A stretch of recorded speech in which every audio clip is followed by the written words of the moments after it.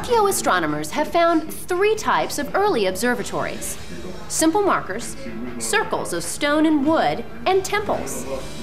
Early on, markers were used to create sight lines to the horizon, so that during the equinox or solstice, the sun would appear to rise exactly on the sight line.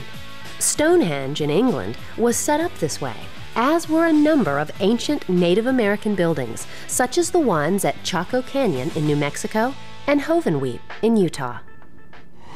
England's Stonehenge is one of the earliest examples of an observatory in Europe.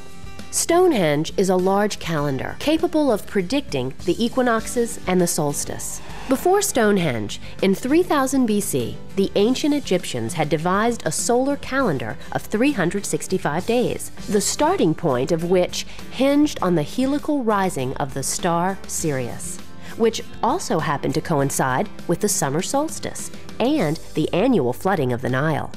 By being in touch with celestial phenomenon and their natural surroundings, the ancient Egyptians were able to predict events of great significance in their desert environment. At Abu Simbel, massively carved statues of Ramses the Great face east to greet the sun god Re, the bringer of light. As the sun rises each day, the statues are illuminated again, perhaps a sign of rebirth for Ramses. But the most compelling is a passage to the temple's inner sanctuary, which is aligned so that on October 18th, the sun filters into the sanctuary, illuminating a statue of Ramses. While October 18th doesn't mean much to us in the Western world, this October date corresponds to the beginning of the Egyptian civil year and the celebration that occurred during the time in which Ramses lived. It was the Greeks, however, that created the first portable cosmological tool for keeping track of these motions, a stick. The Greeks actually called it a gnomon, and it was used to keep track of the shadow of the sun. Actually, it's a little bit more difficult than that because the shadow depends on your latitude. Again, if you are not near the equator, the shadow will be shortest during the summer solstice and longest during the winter solstice. For the spring equinox and fall equinox, the shadow will be halfway between the shadow lengths at the solstices. In the southern hemisphere, the shadows will be reversed, just as you all know the seasons are reversed. When it's summer in the United States, it's winter in Argentina. This all works pretty well if you're not at the equator. At the equator, the summer solstice sun casts a shadow in a southerly direction, and the winter solstice sun casts a shadow in the northerly direction. During the equinox, at the equator, the shadow disappears.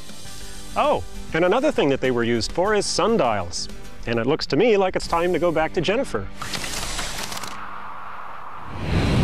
Okay, guys, let's take a look at how a gnomon works and see the angle of the sun at certain times during the day.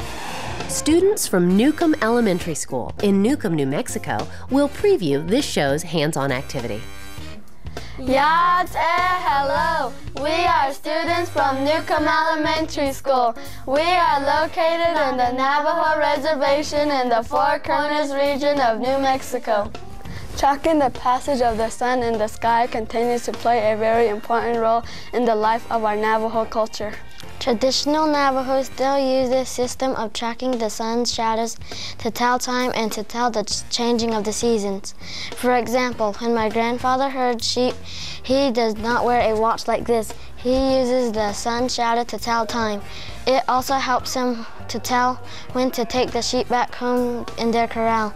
It also helps him to tell when to plant corn and watermelon on his farm. NASA Connect asked us to show you this program's hands-on activity. In this activity, the students will make sun shadow plots every half hour, marking the ends of the shadows made by the sun and a gnomon. You can download a copy of the Educator Guide from the NASA Connect website for directions and a list of materials. Turn a cardboard box upside down. Tape a large piece of paper to the cardboard box. Draw two lines that are perpendicular to each other from top to bottom and the other from left to right across the paper. Mark its center with a dot. And make a very small hole in the center of the box using the point of a scissors. Stick the gnomon through the dot and the hole in the cardboard. secure it with tape so that 10 centimeters is sticking straight up out of the box. Use a protractor to make sure the gnomon is perpendicular to the box. On a clear sunny day, find a large flat area. Tape the box to the ground on all four sides. Starting as early in the morning as possible, mark the end of the gnomon shadow every half hour until the end of the day. Next to the dot, label the time of the day it was marked. You will analyze the data you collect by measuring angles and length. Remove the gnomon and draw a straight line from each dot to the hole that the gnomon was placed in. Measure and record the angle between the horizontal line drawn through the center of the paper and each marked shadow. Then, measure and record the length of each shadow. Using geometry, find and label true north on your sun shadow plot. Verify local solar noon using shadow length times and sunrise sunset times. How do the lengths, positions, and angles of the shadows change? What do the changes tell you about the position of the sun throughout the day? Would the curve change if you used a different sized gnomon to cast the shadow?